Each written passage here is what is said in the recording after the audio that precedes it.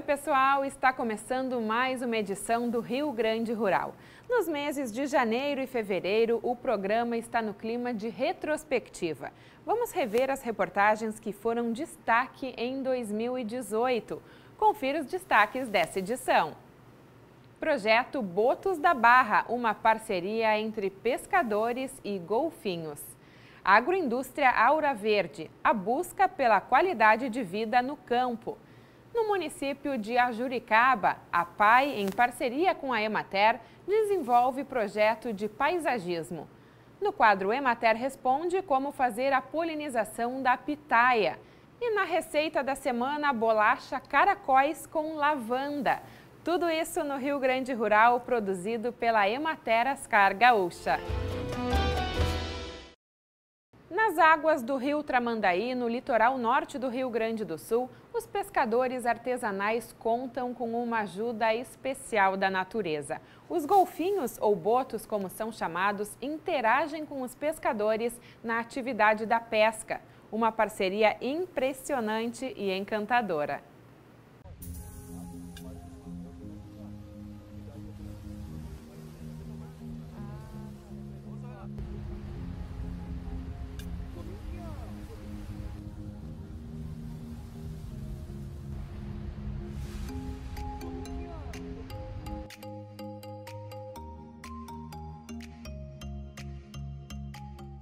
Na divisa dos municípios de Tramandaí e Imbé, nas águas do rio Tramandaí, a pesca é tradição. Aqui, quem pratica a atividade por profissão ou apenas por paixão, captura o pescado de várias formas. Mas uma especial chama a atenção. É a pesca cooperativa entre os pescadores artesanais de tarrafa e os golfinhos. O boto entra aqui no estuário, aqui né, é uma área onde tem muitas tainhas, então o boto, com o sentido da ecolocalização, que é um tipo de sonar que eles têm, ele localiza o cardume, vai agrupando ele e vai empurrando para a margem. Quando o cardume está numa situação, né, digamos assim, ideal, ele faz um sinal com a cabeça para o pescador. E o pescador sabe direitinho onde quando, em que momento jogar a tarrafa. Quando essa tarrafa cai na água, ela quebra essa formação de proteção que é os, os peixes se encardumam para se proteger. Quando a tarrafa cai na água, essa formação é quebrada, alguns ficam na rede, na tarrafa do pescador, e outros fogem para onde? Para o lado que está o boto, que só tem o trabalho de escolher que peixe quer. Então isso é uma, é uma coisa única no mundo, socorre em Laguna e aqui no Rio Grande do Sul de forma tão ritualizada. Ele chega aqui na boca da barra, que a gente já sai acompanhando eles, sabe? Quando eles mostram de bico é tainha, quando eles mostram de lado, que mostra a barriga assim, aí é tainha, aí é peixe que eles mostram pra gente. E aí sabe, faz até um sinal e sabe a hora de jogar a tarrafa. Faz sinal, às vezes eles largam uma borbolinha que a gente já conhece, não espera nem levantar o bico aquele borbulho ali, o cara já bota, a gente que é mais experiente conhece, aí a gente bota na frente dele. Mas quando ele mostra de bico, daí todo mundo conhece, porque daí eles vão ver a cara dele, né? Aí sabe, aí todo mundo sabe que é peixe. A interação é tão intensa que os botos são conhecidos pelos próprios nomes. É, a gente conhece todos eles, sabe? Menos esses, esses mais novinhos que a gente não batizou, que é a gente que batiza, bota o nome deles. Mas os mais velhos que tem aqui, a, que nem a Geraldona, que nem o Chiquinho, que nem o Bagrinho, o Coquinho, todos esses aí a gente sabe. São botos que desde 91 estão aqui e antes disso. Então a gente acha importante continuar esse monitoramento, saber quem são os botos que estão na barra, conhecer eles, ver o que eles estão fazendo a periodicidade que eles entram e saem, o que, que eles fazem aqui. E a gente tem acompanhado também os filhotes. Por exemplo, a Rubinha é filhote da Geraldona. Vocês têm ideia de mais ou menos quantos existem por aqui? A gente tem catalogados 16 botos que entram aqui na barra, sendo que 10 deles são mais frequentes e a gente tem alguns, os seis indivíduos que mais esporadicamente aparecem, não são tão residentes assim.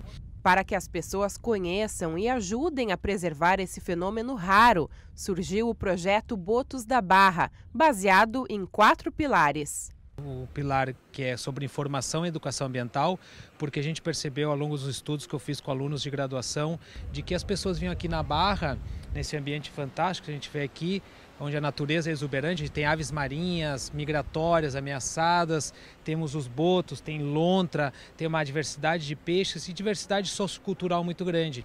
E as pessoas não se percebiam nisso, não percebiam um dos principais atores que é o boto Né?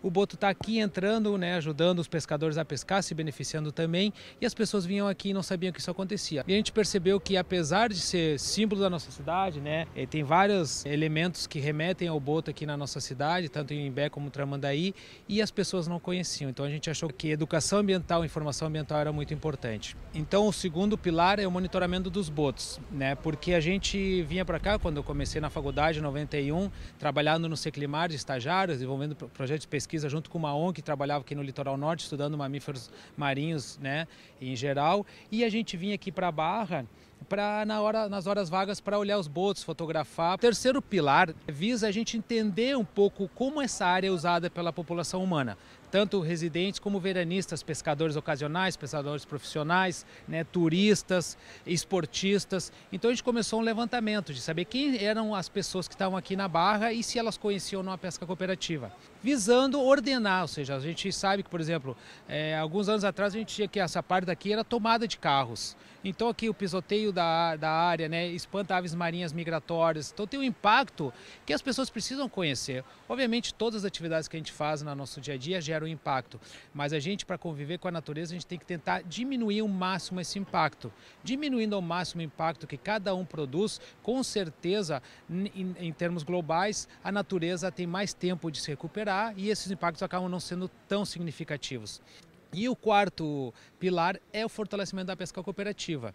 É onde entra a Emater, né, nesse projeto, nesse trabalho muito interessante que eles fazem junto com os pescadores. Eles têm um conhecimento técnico da pesca e estão ajudando a transmitir esse conhecimento para eles. Interessante dizer que esse projeto ele é um projeto multidisciplinar que visa então proteger um patrimônio sociocultural da região, com apoio de várias instituições. Tem o Seclimar, da URSS, junto com o Campus Litoral Norte, a Emater, o Instituto Federal de Educação, as prefeituras dão apoio, a gente tem financiamento, né, o projeto né, que é com a parceria com a tem financiamento do CNPq, o, dos botos da Barra, do Seclimar, tem financiamento da Transpetro, do MEC, e assim a gente vai tentando né, juntar a sociedade em prol de um bem comum, que, né, que pode servir para todos. Que, por exemplo, a gente sabe que um boto aqui pode atrair o turismo, então, em vez de ter um monte de gente pescando predatoriamente, pode estar tá, é, criando serviços de turismo, restaurante servindo mais pratos de comida, a hospedagem está é, tá mais cheia durante fora da temporada, porque a temporada alta para ver os botos é abril, maio e junho quando o litoral já tem uma demanda muito baixa de turismo. Então imagina as pessoas virem passar um fim de semana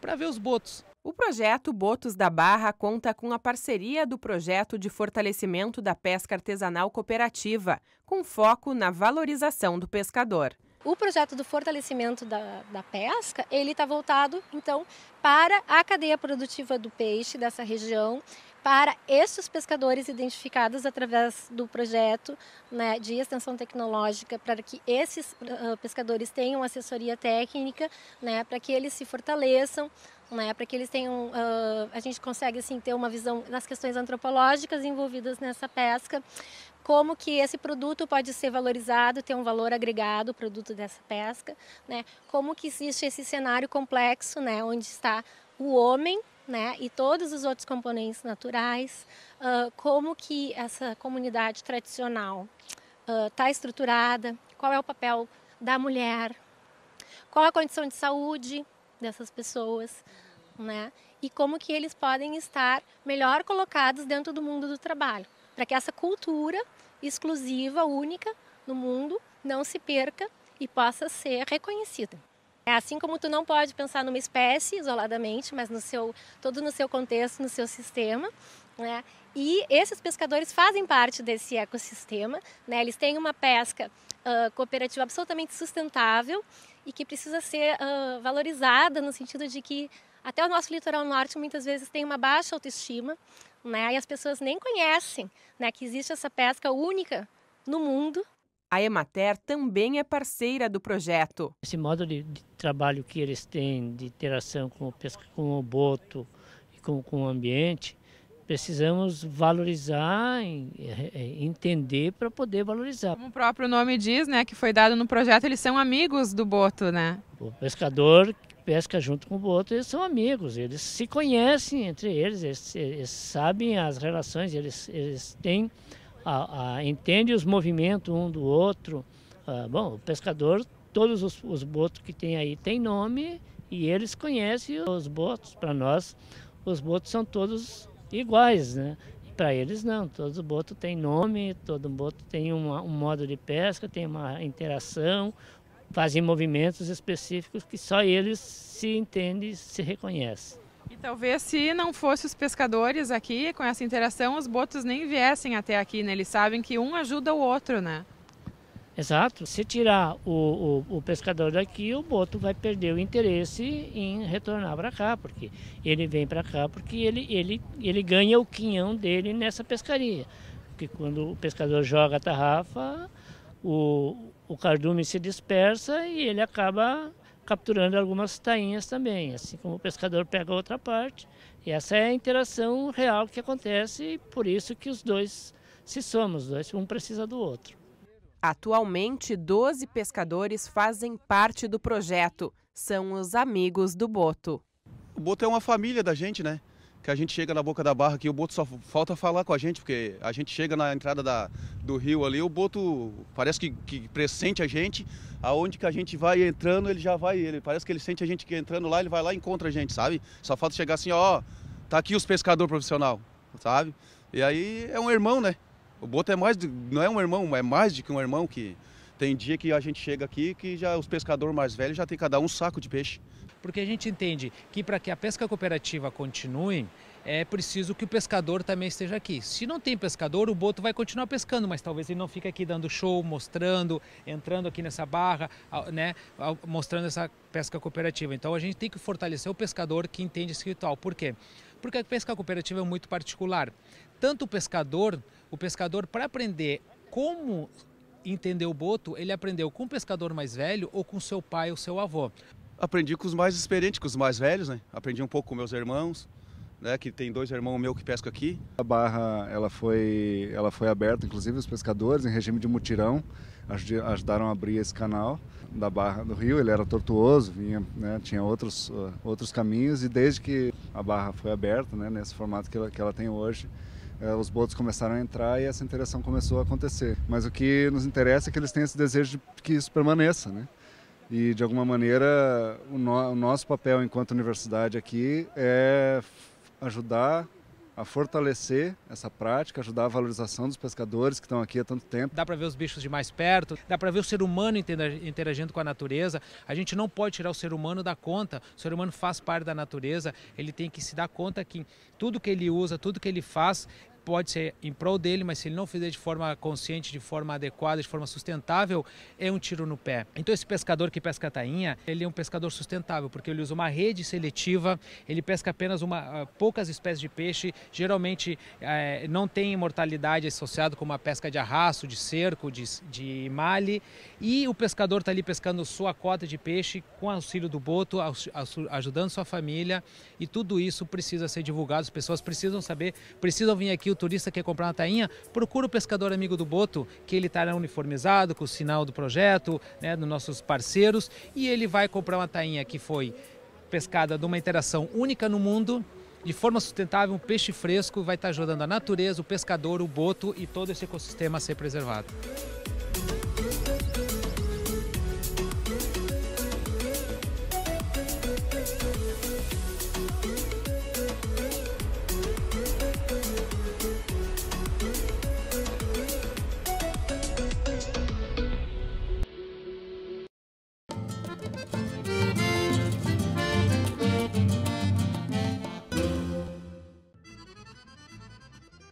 Arroz em casca saca de 50 quilos, R$ 39,74, redução de 0,08%. Feijão saca de 60 quilos, R$ 139,35, redução de 1,29%.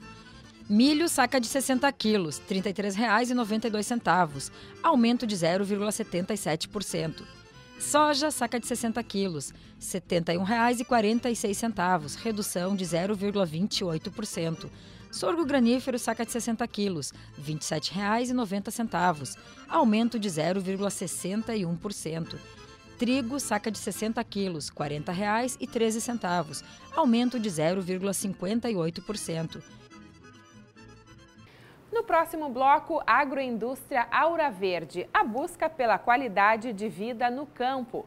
E uma parceria entre Emater e a PAI realiza projeto de paisagismo. Nós já voltamos. Música